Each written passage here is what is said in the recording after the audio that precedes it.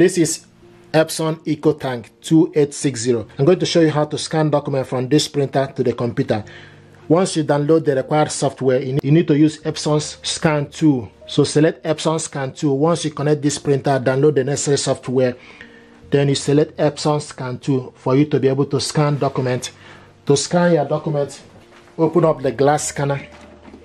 So stick the document you want to scan face down. Make sure the document start from the right. You will see an arrow to start the document. This document is A4 paper. Then close the scanner. You scroll down. You select the printer. It will show you. It will show you Epson ET 2860 series and USB. We connected this printer using a USB cable connection. Scan setting. You scroll down and select scan setting.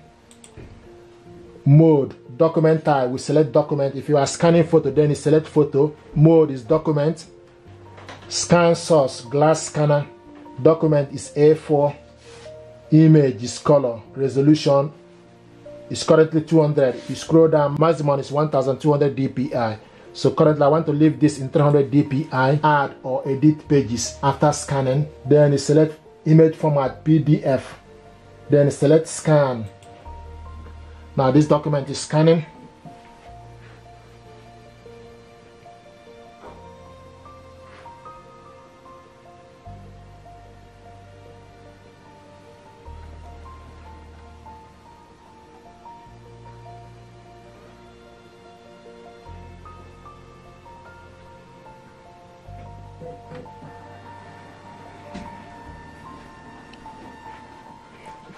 Then you lift up once it's finished you want to scan the second document, then put the second document you want to scan face down.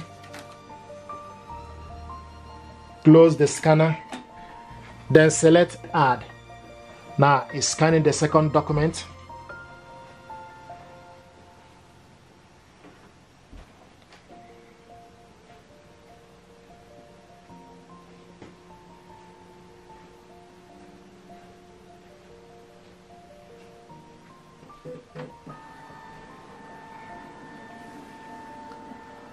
Now this document, if you want to save it, you select save. If you want to edit it, you select edit. If you want to cancel, you select cancel. So select save. So if you go to document, then you type the date, you scan the document. So once you type the date, it will show you the document. Okay, and this is the document image. Double click it. So this is the document we scanned, two pages. To print this document out, you select Control P or you select the printer icon, if you select Ctrl P, then you go to the side and select the correct printer, Epson EcoTank 2860 series is ready. Then you select how many copies, select portrait, scroll down, select all pages and want to print this color. Then select more settings, select paper size as A4.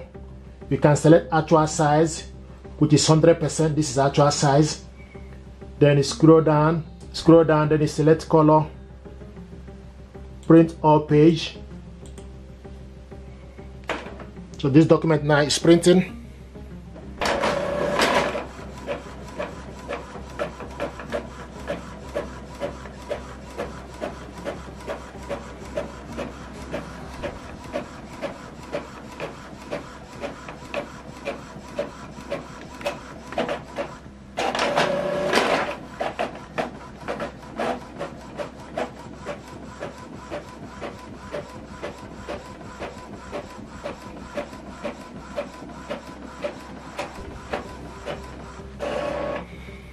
So this is the document we scanned this document to the computer and also printed it out.